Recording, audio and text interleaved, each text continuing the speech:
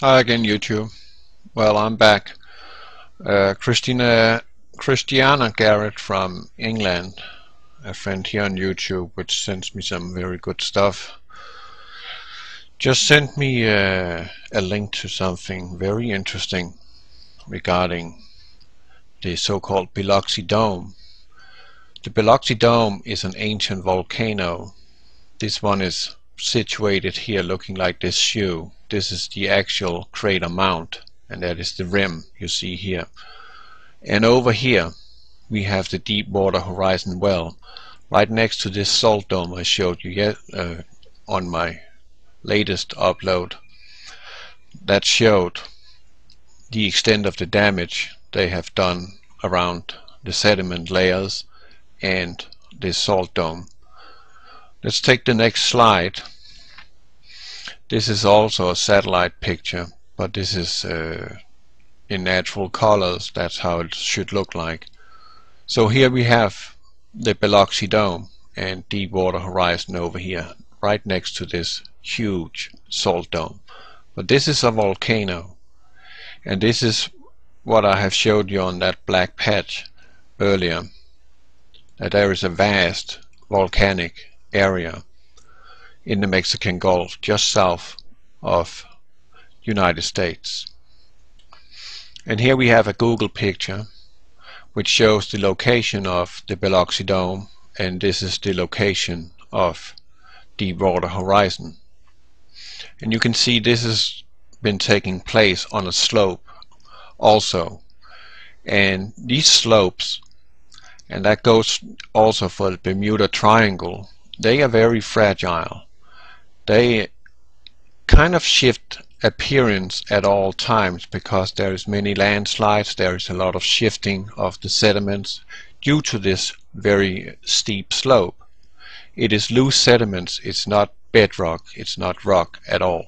It is very loose very fragile and is extremely risky for anyone to go out there and do drilling for oil. It can only go wrong and you can count on. This one is very wrong. And this is a little closer up and we have Deepwater Horizon around here but this is the actual distance seven miles from the Biloxi Dome. But in reality this could be a smokescreen for what is really taking place in this area. And this is what I want to get into this is NOAA's uh, free fall uh, survey. They are using a special apparatus that looks kind of like a torpedo. And they drop that vertical down while they are sailing with 10 knots at cruise speed in order to pick up data. And as you see here this is the Biloxi Dome and the purple spots here illustrate where there is leaks. There was a oil exploration in the Macondo area which is owned by BP taking place on an ancient volcano an ancient asphalt volcano so are we to believe that Deepwater Horizon really is the actual accident that the deep, Deepwater Horizon yeah basically was put out there as yeah as a what do you call that? Yeah smokescreen for what they were trying to hide in this place. Because the the distance between the Deepwater Horizon which is this red dot and to the actual leaks in the seafloor is very little. So there is absolutely a good reason to speculate that Deepwater Horizon, the rig itself, was sunk, was planned to be sunk as a smokescreen, as a cover-up for what really, really is happening at the seafloor. And what's happening down there is devastating. This is Deepwater Horizon over here. This is here where there was the the uh, oil rig, or oil uh, exploration. And here we see these seven purple dots. This is the actual column of the oil. This is a 3D picture NOAA has been uh, taken uh, using this sonar equipment, the free fall fish. It looks like kind of like a fish. They just dump it down kind of like this while they're sailing and then they get a spectral anal analysis of how the water column looks like. And we see here we have vast plumes or columns of crude oil spewing out. And in this there is also tar and that's why there's been washing up tar balls on the beaches because it is an ancient asphalt volcano but apparently there is oil down there too and that is the whole trick. They are trying to cover something very very nasty up. I don't know how many of you out there that knows the truth about this but this is beyond anything I knew about. This is news to me and it's news to many people too. Maybe some of you know it. But over here we have the Deepwater Horizon. We have leaks over here way ahead and I don't know how much that is in miles. Maybe that is 12 miles instead of 7 but here we have leaks but they are not that big. And these two here are not that big but look at these. Huge columns rising up. And this is where there is crude oil. And I'll come back to that. And this is from another angle that is directly vertical and you clearly see here that over here that is the picture I showed you last time the dome. But here we actually have the leaks. And a little zoomed out we also see how big an area we are talking about. But that is not the biggest problem. This is the instrument they are using for free fall and that one is measuring the amount of oil and in what depth the oil is, is monitored. And that was the 3D pictures they I just showed you. This is what this uh, apparatus is showing you. And this is a graph also. And this is the surface of the water up here. And this is the free fall line from the fish. And here you see a column of oil. This is down to seafloor. Is this one is measured from surface to 1300 meters down. You um, so we have at approximately 3600 feet we have a plume of oil floating here which is approximately 50 feet thick.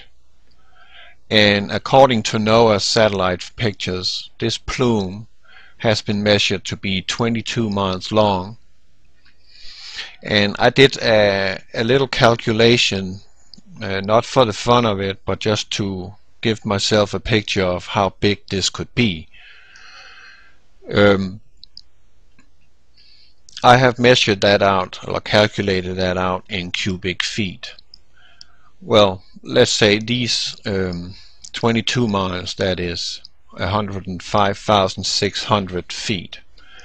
And then I just took an, an example just to keep it within something understandable to a 5 miles um, wide. So that means 22 miles times 5 miles so that is a very big area already there. And then 50 feet thick. And the result of cubic feet plume, oil plume, is 12 billion 672 million cubic feet of oil. I don't know how much that is in gallons. I did not calculate that, but that's not even necessary in this case the numbers already should shock you that should really make you swallow a big lump in your throat because this is disastrous. And these columns, there are seven of them leaking out from the Biloxi Dome, which is a mixture of oil and volcanic material. And right now NOAA also has the uh, the official damage of the sea floor and they have yeah the dead zone in the Mexican Gulf right now is Connecticut and Rhode Island combined. That means that big area there is absolutely no life. It's all dead. That is at seafloor so this is a definitive uh, game over for the fishing industry in the Mexican Gulf. This is going to spread much, much, much, much further. And the worst part of this, this, this, uh, this, these seven leagues, and this plume down here at a thousand meters, that is a little over, at a little less than two-thirds of a mile down this one is drifting towards the southwest. It is not going towards Florida. So that actually means that the use of Corexit will have to be intensified in order to keep this plume from not surfacing further southwest and that meaning going towards Mexico, going towards Venezuela and the whole Yucatan Peninsula area. So I don't really know how to grasp this, but look at these lines. This is the plumes, and they are also down to at 1200 meters. That's almost a mile down. A huge lake, huge lake of yeah concentrated crude oil, which is not surfacing, and so question is this we are looking at here. Is this really well A and well B? Is it really where they say it is? Are these just false coordinates showing something which is not real? So this is actually at the Biloxi Dome and where they're filming that is over where the Deepwater Horizon actually crashed. And there they might have set up some Corexit device with all these yellow and all these nozzles which we I have showed you about that it looks like something stationary they have put down there. Is it because it, it's put up to drift in the same direction as that plume in order to make sure this oil is not surfacing so how many gallons are they putting out into the ocean from the seafloor level and how many gallons are they spraying from the air onto the water? And how many people is gonna actually die because of this? Kendra Anderson is seriously ill. The whole film crew from from her uh, reporting they have all been hospitalized in critical conditions and several others and it's gonna be much much more which is gonna be sick of this. And it's also by my uh, by uh, marine biologists been shown now and proven that marine life has um, mutated DNA due to this vast pollution. And this is real real bad. And something else is coming to my mind. That is that the 26th of August there was a 13 hour long rumble a very very serious rumble from the Yellowstone Park volcano. And we know that many volcanoes are kind of intertwined with each other in channels. And even the Hopi Indians knew that there was a huge snake system of channels and volcano volcanoes underneath their own land.